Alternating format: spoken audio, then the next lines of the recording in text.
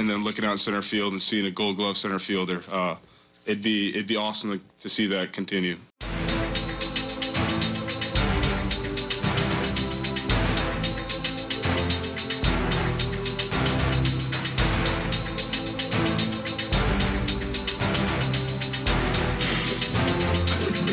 Um, yeah, the six years here have been amazing.